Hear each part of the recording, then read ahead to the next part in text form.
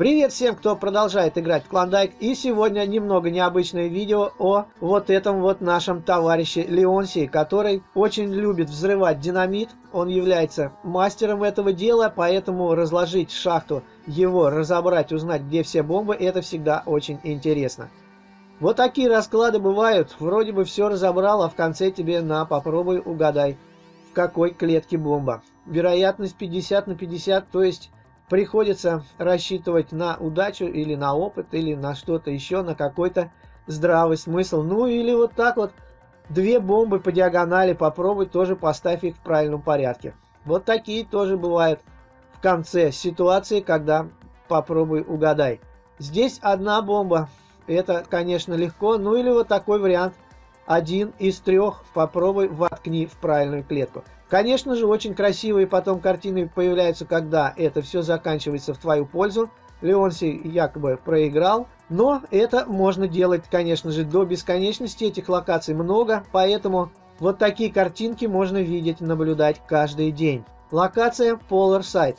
Шахта эскимосов и немного расскажу, откуда это видео вообще появилось. Хотел удачную подборочку такую собрать, по всем локациям прокатиться и поснимать, как это происходит и что вообще происходит, когда разбираешь на всех локациях Леонсия вот эти шахты и какие ресурсы из них выпадают. И так получилось, что вот как раз здесь в Поларсайде все пять попыток оказались удачными. Ну, и конечно же, запись была произведена.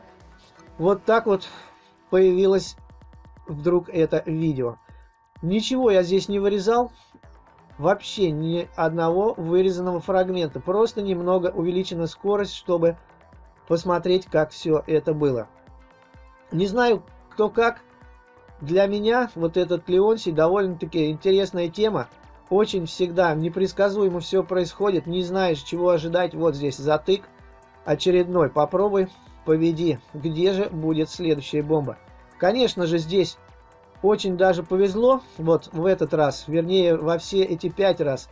Такие бывают ситуации, что ну просто невозможно вычислить где и что. Вот как сейчас опять.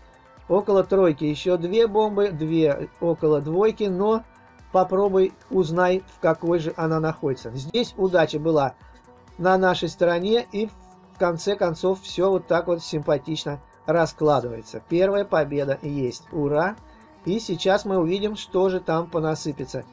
Очень даже красиво поляна засыпается вот так ресурсами и какими-то коллекциями. Здесь, конечно, немного, это всего лишь Polar Site, поэтому в Ханбулате попробую заснять. В Ханбулате это, в принципе, тоже может быть реально 5 побед подряд сделать. А вот следующие две шахты, это Sunrise и Норд Пасо, там, конечно, намного все сложнее. Норд-Пассо еще как-то разбирается, бывает даже 3-4 раза, а вот в Санразе очень даже сложно. Одни бомбы, не знаю, как там можно 5 раз, можно ли вообще там эти 5 раз разобрать. Конечно, будем пытаться, но вот смотрите пока, как происходило это все.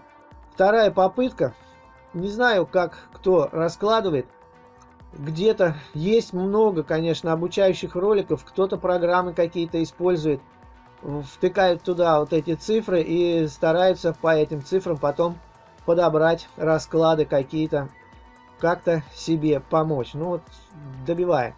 Я никакими программами не пользуюсь. Во-первых, это очень долго.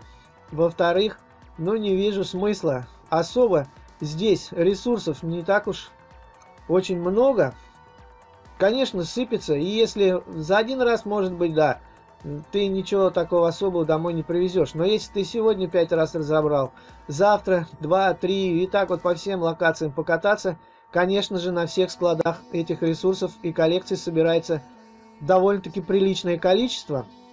Поэтому каждый день, ну, если, конечно, находитесь в игре, почему бы не прокатиться и не попробовать свои силы вот с этим вот безумным Леонсием, можно сказать, повоевать.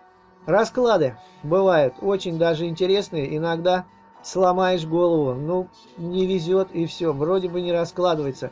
А потом какой-то один удачный всего лишь ход, и все. пошло, открылась пол карты одним ходом. И очередной вот такой вот фейерверк в награду нам высыпается. То есть немного совсем времени нужно потратить, чтобы по всем этим локациям прокатиться.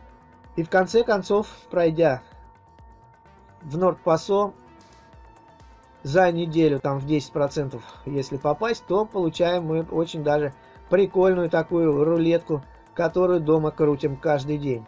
Рулетки, конечно, мы собираем, поэтому если у вас есть какое-то свободное время, ну прокатитесь, попробуйте, что у вас получится. Не знаю, я очень даже легко разбираю все вот это вот хозяйство, если оно разбирается, конечно. Бывают такие расклады, что ну ни в какую. Один флаг, следующий ход, раз и бомба. Все.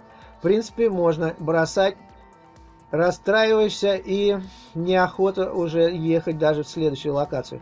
А бывает так, что приезжаешь вроде бы, ну ладно, сейчас пару раз разберу, а получается так, что разбирается очень даже много раз, и ресурсов этих керосин еще в огромном количестве тратится, чтобы их потом все вывести. Но вот видите, какая опять же ситуация. Здесь внизу у нас тройка уже есть, спокойно можем бить. Не знаю, многие почему-то не понимают, как бы, если вот вы около однушки нашли бомбу, почему-то не понимает народ, что вокруг нее больше нет бомб. Вот смотрите, какая ситуация. Около тройки одна бомба, одна бомба вот здесь вот.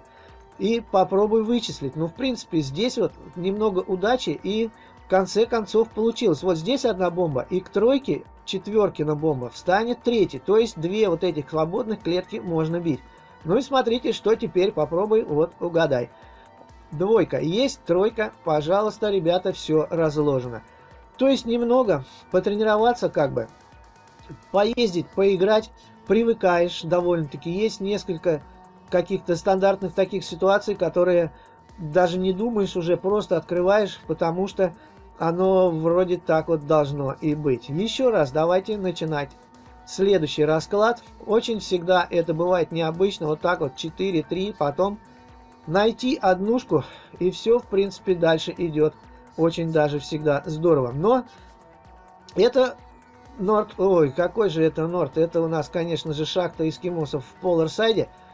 В Норд-Пасо и в Санрайзе там, конечно, расклады поинтересней. Очень даже бывает сложно. Вот так вот, двойка у нас зацепляет единицу. Ну, потому, поэтому под единицей можно все три клетки пробить. Вылазит двойка, опять же, и еще одна единица.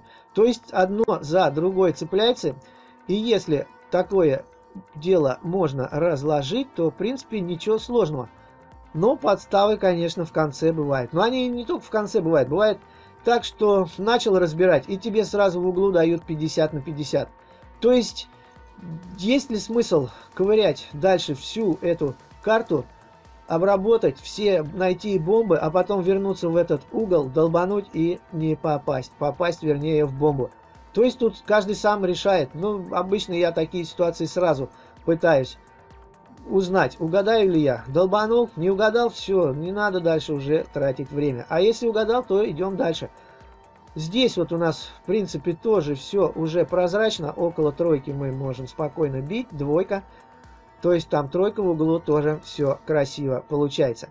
Ну что ж, друзья, вот так вот интересно все завершилось. 5 побед в шахте эскимосов. Придется все-таки мне как-то пробовать дальше ехать. В Ханбулате теперь это дело заснять. Там, конечно, потрудней. Ну, немного, но потрудней. Идем на склад, смотрим, что у нас здесь насыпалось. Ветер всегда, трава бывает, доски, брус, черника, ну и энергетики какие-то, канаты, вода. Обычно за неделю, за две собирается очень даже много золота. Не оставляйте без внимания вот эту часть игры Клондайк, которая иногда бывает даже очень интересной. Поэтому ждите новые видео, постараюсь, конечно, заснять я такие же ситуации и в других локациях очень красивые и интересные. И продолжайте, конечно же, играть в Клондайк. Добавляйтесь в друзья. Удачи всем и до новых встреч на канале.